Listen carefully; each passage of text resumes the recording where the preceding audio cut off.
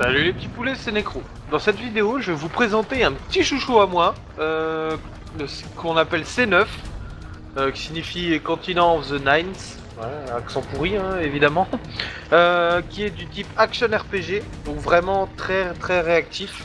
Le principe du jeu est un peu, peu space, donc j'ai j'ai pu tester la bêta il y a quasiment un an maintenant, et je m'y suis mis à jouer quand même, à y jouer un petit peu. Euh, un jeu qui est euh, en anglais, évidemment, comme tous les jeux Webzen. Donc, euh, le seul, la seule condition pour qu'il soit traduit en français, c'est qu'il y ait des serveurs européens ou français.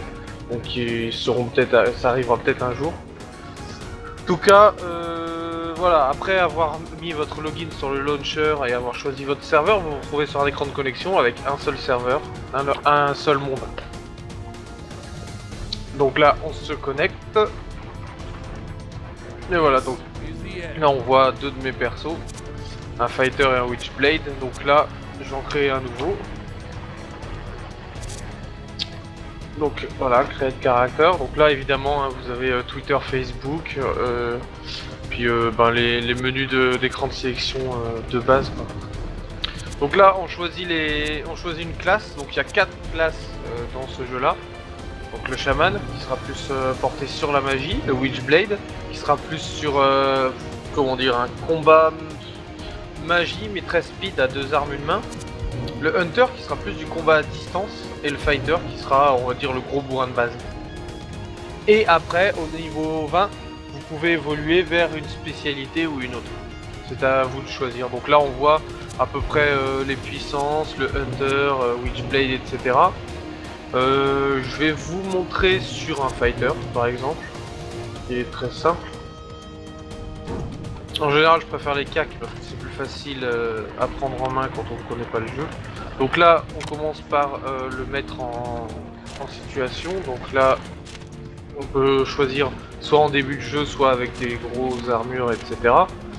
Donc là, on commence par le général. Donc on, va le mettre tout nu. En perso, je vais le mettre. je vais l'appeler Necrotest. Pour la vidéo de test. Donc euh, en visage, donc avec la roulette évidemment, on peut agrandir. Donc en visage. Euh... Bon, on va le, on va le laisser strong. Euh, sinon, euh, en expression, oui, un petit peu asiatique, typé, typé, elle est très, très blafard. J'aime beaucoup le terme blafard. Un peu penser au vampire, faire un, petit peu les gens d'un autre monde. Alors là, ce que j'aime beaucoup aussi dans ce genre de jeu, c'est euh, le paramétrage des persos. Par exemple là, euh, on peut rajouter, euh, on peut choisir la taille. Donc je vais faire, faire un perso avec tout, à tout à fond. Ok, bon, vu que Fraps tourne, j'ai un petit peu de difficulté euh, niveau vidéo. Voilà, on va tout mettre à fond. Et c'est euh, super paramétrable. C'est vraiment... euh, Voilà, un peu. Et une drôle de tête du coup. Donc euh, couleur des lèvres, on va le mettre en rouge. Couleur des yeux aussi. On va, en mettre, on va en faire un personnage un peu bizarre. Donc dans le style là par exemple, dans les cheveux là vous avez un paquet, paquet de cheveux. On va mettre flamme. Voilà, flamme en jaune. Faire un petit peu. euh, Voilà, sinon la longueur des cheveux. Bon, on va laisser. Apparemment, c'est euh, le plus long, le plus long vers la gauche. Voilà. Sinon, tatouage. Bon, par contre, euh, il, nomme pas les tatouages, donc à vous de choisir. Donc, on va prendre par exemple celui-là que je vais mettre en jaune. Voilà, par exemple. Ensuite, on peut choisir.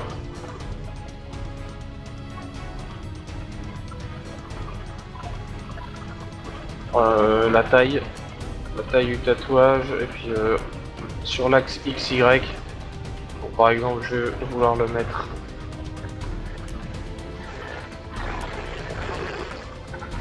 on va essayer de le mettre un peu au milieu bon c'est pas facile facile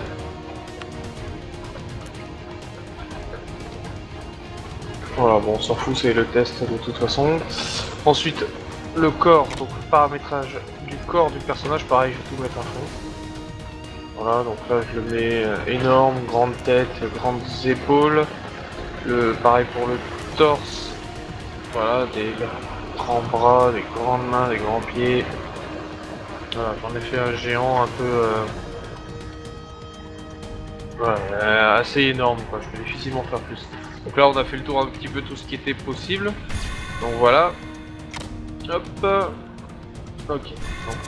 on va rentrer dans le jeu maintenant, start game. Donc là vous voyez, bon euh, en fait euh, le principe c'est que les zones dans lesquelles vous jouez sont instanciées. Donc euh, c'est pas spécialement, à part se, trouver dans la, se retrouver dans la ville, sinon c'est pas spécialement intéressant de d'avoir accès dans un serveur ou un autre, à part se rejoindre dans la ville ou, sur le chat de la ville. Donc là on a euh, l'écran de chargement avec à droite les messages du système, à gauche la fenêtre de chat. Et quand je vous dis action RPG, ça veut dire que, euh, enfin, c'est-à-dire que là, vous allez euh, bouger votre personnage en ZQSD et la souris sera l'orientation de votre personnage.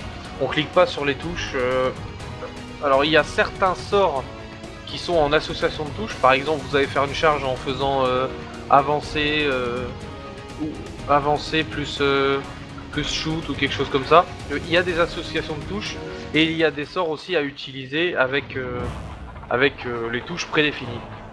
Donc là, on arrive sur le jeu. Bon, la vidéo, je la passe. Voilà. Donc là, orientation droite-gauche. de toute façon, là, euh, on vous explique tout dans le tutoriel. Donc, je vais vous le faire. Bon, euh, je suis en train de Ok, ensuite ils me disent hop ZQSD, voilà, ZQSD. Ensuite ils m'expliquent que je peux sauter. Non, non, faut que je frappe avec la gauche, donc je vais avoir... Voilà, ZQSD plus... Euh... Voilà. Donc là, vous avez un enchaînement de coups. Voilà. Ok, donc là, par contre, c'est un coup de bouclier. Mais sur certains persos, c'est un coup un peu plus fort.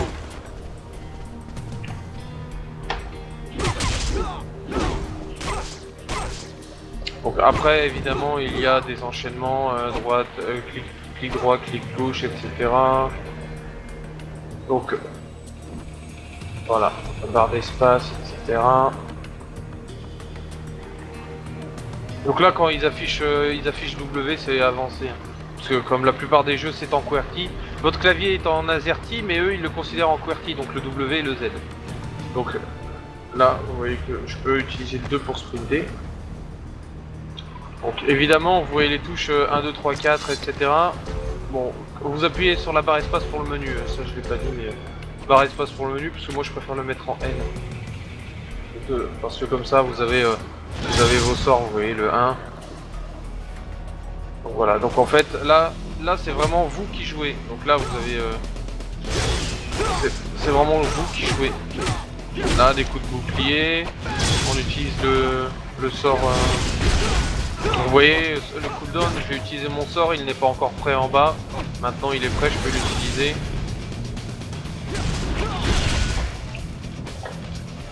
En faisant deux, euh, en courant deux fois vers l'avant, euh, on fait une roulade, etc. Voilà.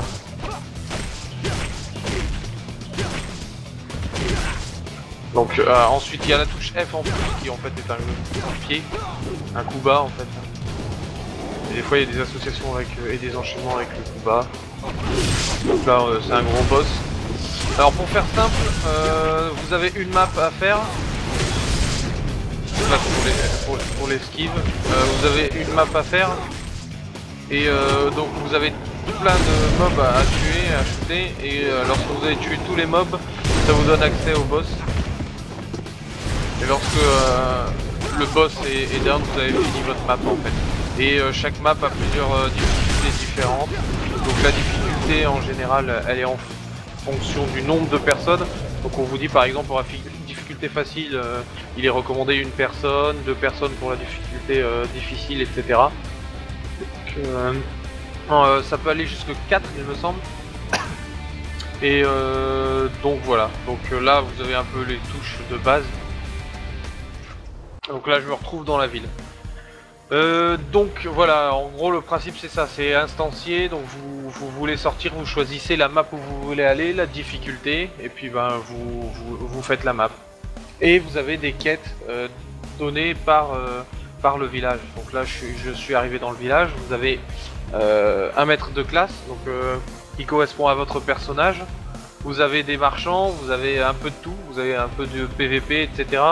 Et tous les X niveaux, vous avez des bonus euh, par rapport à votre classe. C'est-à-dire que vous avez une quête à faire et on vous donne euh, un sort ou on vous donne accès à, euh, à des, des capacités, etc. Bon, donc là, ça va être la route vers le village. Donc je pense pas que ce soit la peine de vous montrer un peu le village, mais bon. Voilà.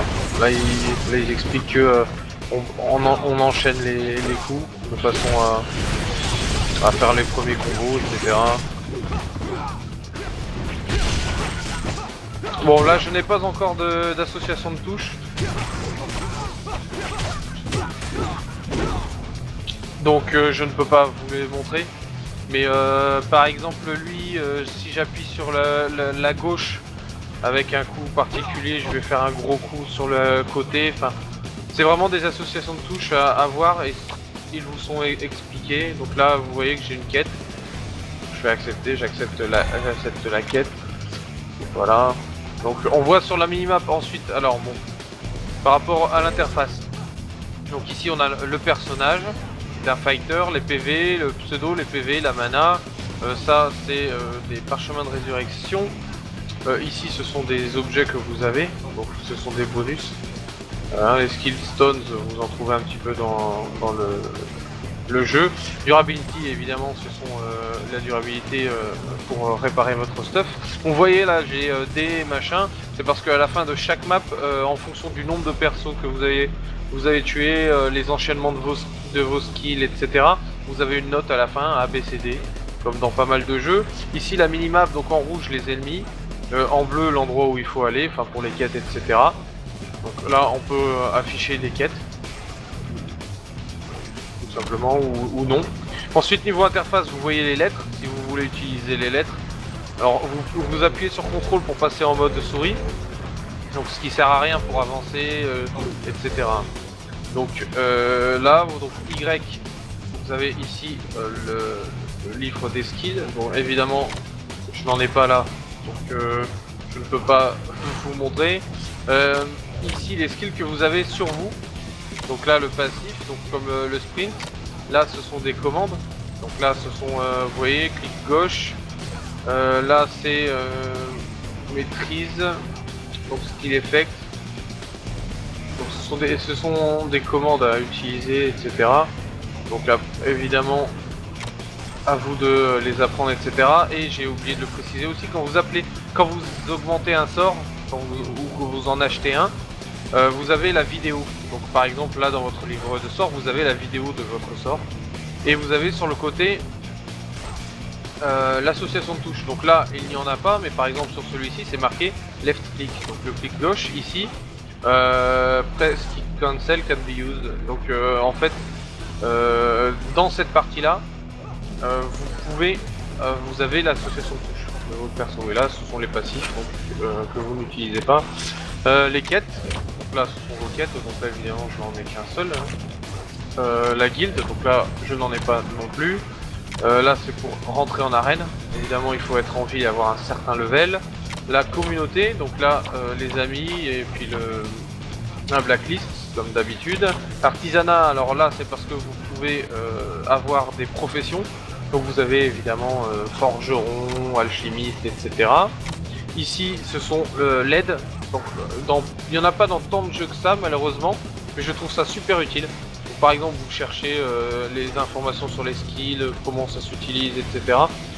Tout est expliqué. Vous avez une aide en jeu qui est vraiment très très complète. Les contrôles, par exemple, les contrôles, je crois que euh, oui, ZQSD pour les pour les mouvements, etc. Les contrôles de classe. Donc, vous voyez là toutes les toutes les touches. Donc euh, une aide vraiment intéressante. donc ensuite l'Adventure Book. Euh, là, ce sont des hauts faits, on va dire. Donc euh, ce sont les HF ou des succès, en quelque sorte. Euh, et puis là, échappe, évidemment, c'est ce que vous pouvez avoir en faisant échappe, sans appuyer sur contrôle.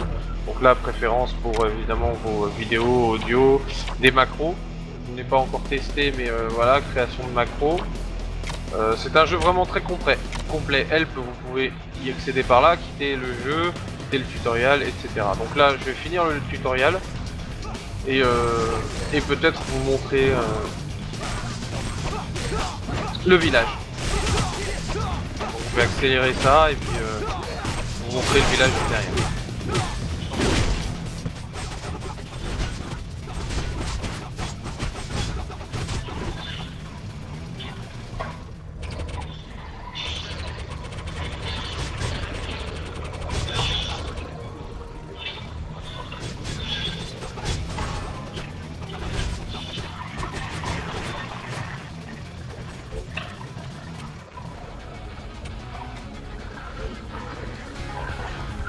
Donc là, euh, on me demande de mettre un point dans mon sort. Donc là, j'ai un nouveau, euh, un nouveau sort ici. Donc là, vous voyez, euh, je recule et j'appuie sur F pour l'activer. Donc j'ai pas besoin de le mettre dans ma barre de sort. Après, les associations de touches, faut les apprendre à force de jouer. Mais vous voyez. Donc si je fais arrière F, évidemment, ça ne marche pas.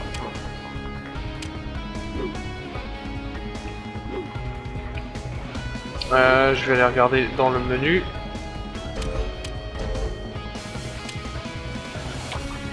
Donc le vlin. D'accord. Évidemment, il faut que je l'achète avant, avant de l'essayer. Donc voilà. Vous voyez là, j'ai ce sort là. Voilà, ça fera ça. Mais sinon, celui-là, vous le connaissez. Mais par exemple, celui-ci, euh, l'association de touches est affichée. Vous voyez, avancer et faire F ça fera ça. Vous voyez, donc euh, vraiment toutes les associations sont mises. Donc là, à prendre, voilà. Et j'ai pas besoin de le mettre dans ma barre de sort pour l'utiliser. Vous voyez, voilà. Donc là, ce qu'on vient de voir, c'est parce que j'ai une quête qui me dit d'utiliser euh, d'utiliser ce sort là.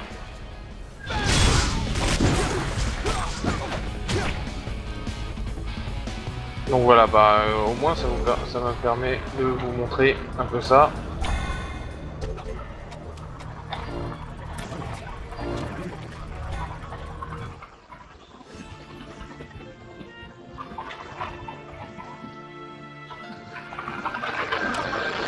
Donc là, on est dans le village.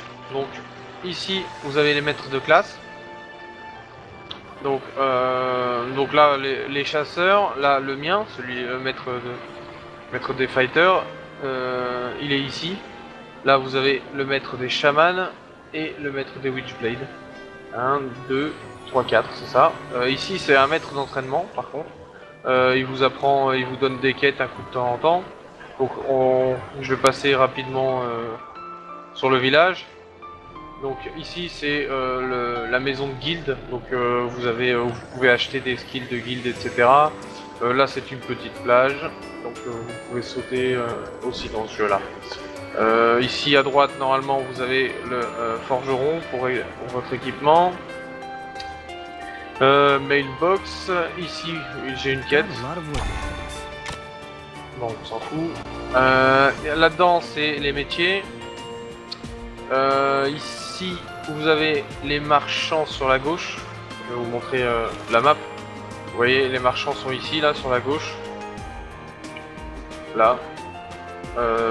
tout là-dedans. ici, là, c'est une histoire, c'est votre coffre. et vous avez deux sorties. Donc, il y a une sortie, une sortie là-haut pour aller dans le donjon ou une sortie sud, donc nord ou sud. Donc là je vais aller à la sortie sud, c'est la plus proche. Donc ici vous avez un, affichage, donc des fois il y, a des, enfin, il y a des quêtes à prendre ici, de temps en temps. Donc là j'ai pas pris toutes les quêtes, c'est pour vous montrer le principe. Donc je finirai là-dessus. Donc là vous avez le portail avec tous les donjons. Donc vous sélectionnez votre donjon. Donc moi je n'en ai que deux de disponibles. Donc en appuyant là, vous voyez les, les hauts faits qui se réfèrent à votre à votre à votre instance quoi. Donc là il faut que je le finisse une fois en difficile et euh, que j'ai un bon rang donc c'est-à-dire la lettre dont je vous parlais. Donc là je peux choisir la difficulté. Sachant qu'il faut finir le normal avant d'être en, hard. Comme là, master, il faut finir d'abord euh, normal, hard, expert pour aller dans l'ordre, voilà. Donc euh, les règles d'équipement là c'est quand vous êtes en équipe. Et là on ne le voit pas, mais les quêtes, les voilà. Donc les quêtes sont rangées, je ne le vois pas ici, parce que je n'ai pas de quête évidemment mais euh, les quêtes sont rangées par, euh, par, euh, par instance. Par exemple, les quêtes, les quêtes là-dedans eh ben, seront dans la catégorie Imp Forest. ici, ce sera Meshurian Heights, etc. Donc, vous choisissez, donc ici par exemple, normal, niveau 1, start, et voilà, vous rentrez en, team ou non, vous pouvez rentrer dans, dans l'instance. Donc euh, là ça charge et vous vous retrouvez dans une instance comme je vous ai expliqué. Vous finissez tous les mobs et le boss euh, pour vous débloquer l'accès au boss à la fin. Donc voilà, pense avoir fait le tour. Je vous remercie d'avoir regardé cette vidéo et puis je vous dis à bientôt in game.